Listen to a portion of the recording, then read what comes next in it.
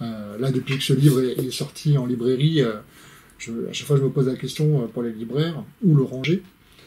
Est-ce qu'on le range au rayon policier, puisqu'il y a quand même pas mal d'auteurs de, polar, Serge Quadrupani, Dominique Manotti, Marin Ledin, par exemple, ou au rayon roman il y en a aussi, il y en a aussi plusieurs. Au rayon sociologie, au rayon santé-travail, enfin voilà. Euh, du coup, c'est un objet un peu, un peu hybride, euh, mais en même temps qui a une, euh, cohérence, et qui a un, ensemble, et qui a surtout, à notre sens, un, intérêt fondamental, c'est de, de garder une trace de ce qui s'est passé pendant ces plus de deux mois au tribunal de la Porte de Clichy.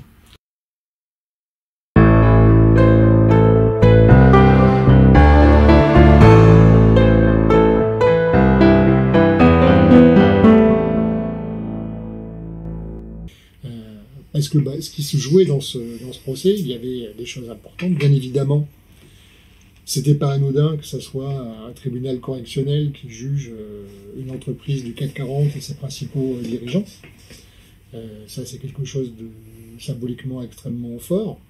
et symboliquement d'autant plus fort que l'ensemble a été, condamné. que ce travail syndical qui a permis dix ans après les faits, que ces dirigeants et cette entreprise euh, soient condamnés, mérité qu'on puisse euh, le valoriser. Parce que, comme on, le dit dans la préface, les gens qui ont permis ça sont des vrais, euh, des vrais héros. et donc, il faut, il faut pouvoir garder trace de, cette, de cet héroïsme et le, le transmettre. parce que cet héroïsme, tout le monde en est capable. Euh, le syndicalisme, tout le monde peut euh, faire parce que c'est juste de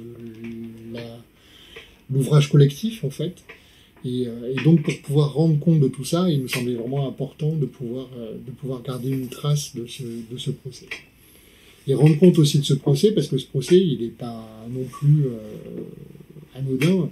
Et dans cette salle d'audience, et ça on le retrouve souvent dans pas mal de chroniques, ce qui se jouait, c'était la guerre des classes, la lutte des classes. Euh, tous celles et tous ceux qui sont venus ont visualisé dans l'ensemble du tribunal cette question euh, de classe. On voyait bien euh, quels étaient, où était le capital et où était le travail. et c'était quelque chose d'extrêmement, important de pouvoir, relater et rendre visible ça. Et puis le troisième élément important, c'est que ce qui s'est passé dans ce procès, ce qui s'est passé à l'intérieur de l'entreprise, ça concerne l'ensemble des salariés en fait. Euh, ça fait euh, plus de dix ans que j'anime euh, le secteur de la santé et des conditions de travail à, Solidaire. Et je me rends compte que c'est les, salariés, ce qu'ils ont vécu à France Télécom, beaucoup de salariés dans beaucoup d'autres entreprises, des petites ou des grandes, le vivent de la même, de la même manière. Et donc de leur permettre de, de se rendre compte qu'ils ne sont pas seuls à le vivre et qu'on peut agir et réagir par rapport à ça.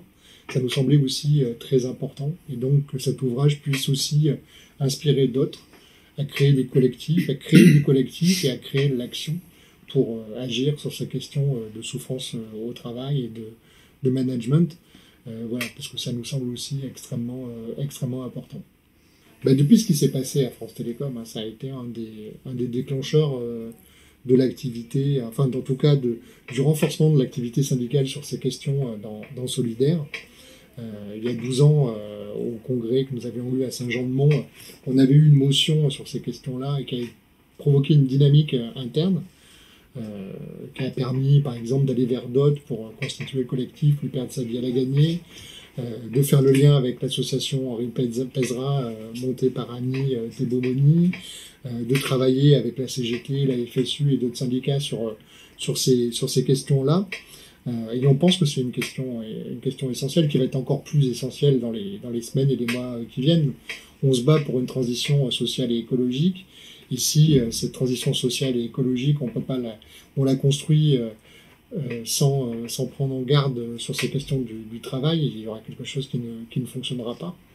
Euh, des gens ont besoin de, de parler de leur travail, de vivre leur travail, de s'organiser sur leur travail, voire s'auto-organiser.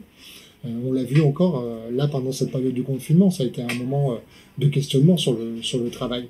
Combien de salariés aujourd'hui refusent de retourner sur leur travail, ils préfèrent télétravailler, pas parce que ils n'aiment pas leurs collègues, pas parce qu'ils n'aiment pas leur travail, mais parce que l'ambiance, et les conditions dans lesquelles ils l'exercent sont tellement insupportables qu'ils préfèrent se mettre à, se mettre à l'écart de cette, de cette manière-là. Donc voilà, l'idée c'est de, c'est que ce soit un pas de plus. Euh, on sait que l'activité syndicale, c'est une activité qui demande beaucoup de patience et de persévérance.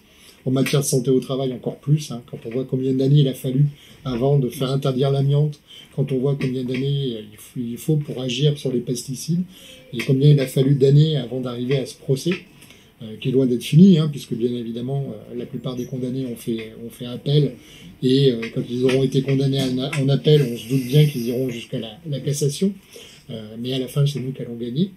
et donc voilà, il faut, il faut s'armer de patience et construire patiemment. Et ce livre, il est un rouage de plus pour continuer à avancer sur ces questions, sur ces questions du travail.